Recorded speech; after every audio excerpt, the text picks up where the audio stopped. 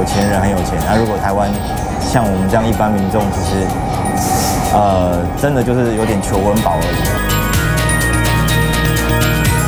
赚钱一定是不好赚的耶。那存钱，我觉得现在存钱真的是比较难的。就是另外的颜色好了，让它分开一点，因为颜色比较近。专精在我的造型上面的技能之外，我还要想办法让人家信服我。在刚开始的时候非常的辛苦。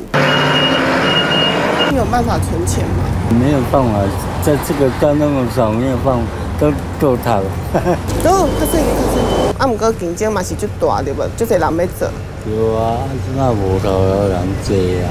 哎呀，你拄则讲爱徛豪宅，是要安怎徛？卖我先来先去啊。卖害来害去的对啊。哎啊，你好我去看吗？我们实际拿起来这块板子确实是蛮重的、不过我们常常说职业无贵贱，你有想过你自己一天赚多少钱吗？以我们今天访问的举牌人来说，他们一天的工资呢是八百块，扣掉三餐的花费呢，一天能赚进六百块，已经算是很不错了。想要糊口勉强还可以，要养家会是有点困难。八点半就到了，没有算说八点半开始哦，他是十点开始算，有带两瓶水，它跟雨衣。对啊，早上的那个面包夹肉片这样的。两吃两哎，我早上吃一片的。路边举牌就能赚钱，这个台湾社会四处可见的景象。举牌人扛得了招牌，肩负的更是低薪人生。电视广告，然后报纸广告，还有我们这举牌的广告，预算都会缩减。搬好的时候，一个礼拜工人他们都可以做到五到六天，然后现在班大概一个礼拜只能排到三到四天。固定要缴的电话费，然后 MOD 的钱。各位老婆，为什么这次电费这么贵啊？啊啊，所以晚上睡觉现在都开冷气了。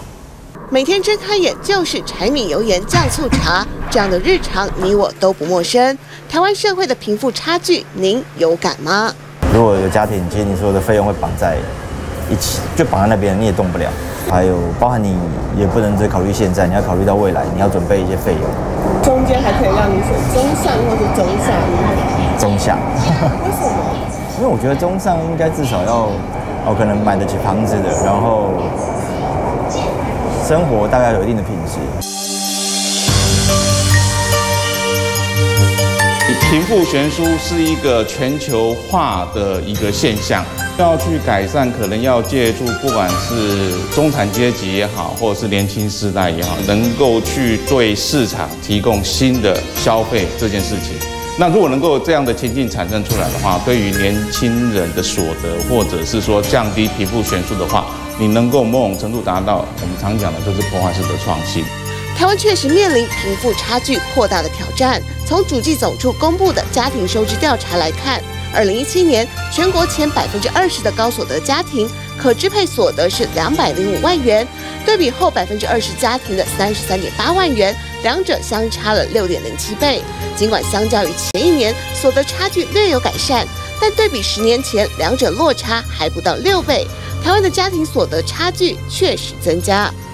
蔡政府上任以来，基本工资连续三年调涨，从一开始的两万零八元，一百零八年基本工资已经来到了两万三千一百块。听起来过去被视为低薪代名词的二十二 K 似乎已经走入历史。今天我们就来做一个随机解访。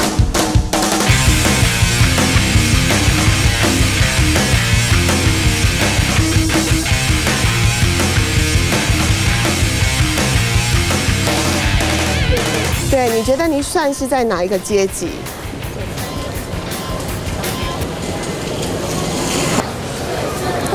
所以现在有在打工吗？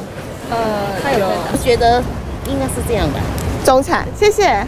透过我们的随机街访可以看到，大部分的人呢还是觉得自己落在中产阶级，感觉还是可以存一点钱。不过，台湾一直以来存在的贫富差距的现况，有因为薪资调整之后获得改善吗？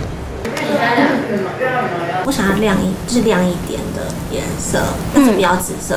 其实因为我做久了，所以其实薪水比以前好很多。以前的一千块跟现在一千块也不一样了。对，买东西很有感觉，包括存说我以后可能我退休的基金啊，我觉得那个都时间都拉得很长。现在也只能努力赚钱跟存钱喽。可是我会多看一些储蓄类或是投资型的产品。你给他的，好可爱哦，很可爱哈。对啊，钱不好赚，存钱也难。眼前的刺青师小喵，为了养家顾孩子，原本月领三十 K 的他，毅然决然从幼教业转行刺青师。但脱贫致富的这条路确实不好走。哦，一直滑。啊，这个要重放。嗯，我原本是一个舞蹈老师，然后我教跳舞，从事跳舞的行业大概十年，现在还是有舞蹈的工作，但是我们还有做一个叫形象顾问的，包括了蛮多的专业项目在里面。你就是从一个原本是老手，然后可能变成一个新人的角色的时候，你的心理状态要调整。尽管自己早已是艺人爱用的专业舞者，但为了延续职场寿命，除了敢学，还得够长精。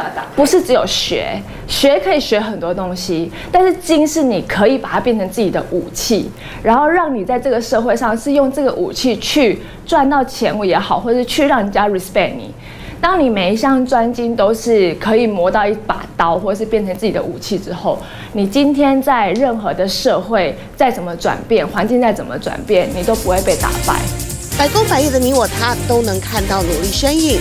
当我们对于未来感到茫然的同时，缩短贫富差距，台湾有机会吗？台湾贫富差距有一个很主要的原因哦，是海外代工、海外制造哦。等于说我们台湾呢接到订单之后呢，其实是在海外生产哦。可是目前呢这个贸易战呢会改变这种情况哦，也就是说台商回流会让台湾有比较自主的供应链哦。那这个自主供应链基本上某种程度上可以解决过去那种 M 型化贫富差距的现象啊。台湾的自主供应链啊，你未来的这个要供应的需求市场在哪里？这是下一个阶段的挑战啊。如果说我们能够找到合适的市场啊，将来呢啊，这一个整个的这个贫富的一个情况呢是可以改善的。贫富差距不是政府用报告数值就能解释的社会现实。想缩短贫跟富之间的距离，或许我们都该反思，谁才是造成贫富差距的元凶？TVBS 新闻陈建敏、黄佩如台北报道。